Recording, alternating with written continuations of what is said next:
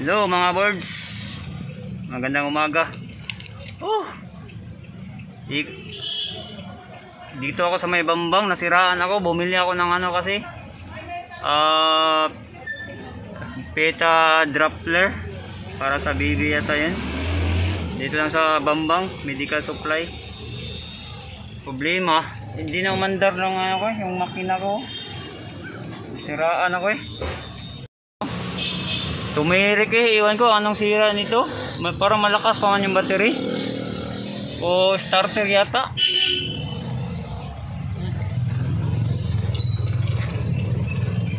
Ko pa yung ano, driver ni ano, driver ni Sir William.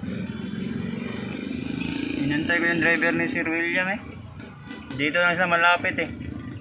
Sa may Puguso kasi sila eh. Nan, tinawagan ko, nandun pa daw siya sa Puguso. Ay sa Divisoria, may binili yata. Nakaharang ako eh. Tinulak na nga lang to ng ano. Tinulak yung sasakyan ko ng mga enforcer. Dito ako. Oh, tumirik pa nga, nasiraan pa nga. Tingnan yung mga boards oh. I-start ko ah. Iwan ko, starter yata o battery. Kasi sa tingin ko parang malakas pa yung battery. Baka starter kaya ito no? Pakinggan nyo. No? Battery kaya yan ang starter. Nakaharang pa naman ako dito. Baka matuwing ako eh. Yantay ko lang yung kasama ko. Yan lang mga birds update. Ito yung buhay driver. Two hours later.